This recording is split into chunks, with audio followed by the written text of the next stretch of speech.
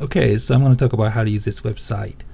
First of all, uh, this is how you can get to this website. So first go to your Canvas site and scroll down to here and here. Click on resources and go and scroll down to the bottom and here this link will open up the web page. Alright, now uh, you also need your script. Uh, this is different from the text you already have access to. This is formatted in a specific way to work with this website. So you have to download the script, your script from here as well. So click on the link to download your script. And so once you have both the script and the web page ready, then well, what you need to do is here it says new and click new to open up the text box. Then you will paste the script from the document. I mean, copy it here and go back to the website and paste that into the text box. Then click here to save the text. So now let's talk about the interface. Okay, let me zoom in a little bit. Okay. So this is the interface. So it says settings here. So you need to change some settings. So let's go there.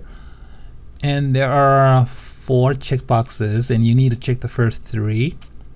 And also chunk size that needs to be the highest possible. So in my case uh, the largest number is 8 so I choose 8 and font size doesn't really matter as long as it's good large enough for you. And 70 is perfect for me.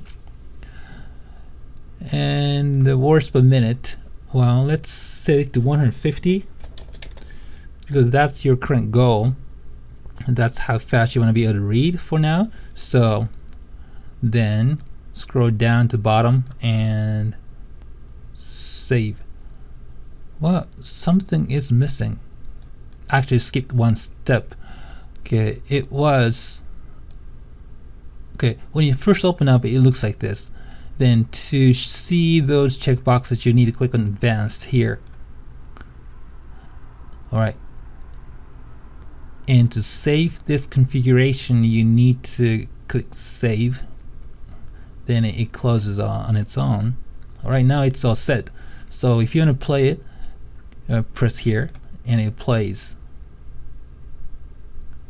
Now it's playing 150 words per mile uh, per minute and this is the speed you're aiming for right now. But if it's too fast you can change the words per minute. So okay, let's say it is a bit too fast so you want to bring it down to 100. How you do that? Uh, there are a couple different ways you can do and you can use this keyboard shortcut for example so plus for increasing the speed minus for decreasing the speed so okay let's press minus button once okay once more. Now it's 100 now it's 100 words per minute. Another way to change the speed is go back to settings and type in the speed you want. So if you want 90 words per minute you can type it manually type it in. If you think 85 is better for you you can change to 85 that's one way to do it.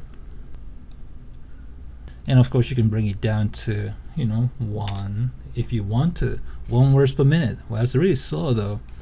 Okay so let's set it to one back to 150 and of course if you're changing the setting you need to save the setting before uh, in order to apply those changes. And for playing you can use the interface here.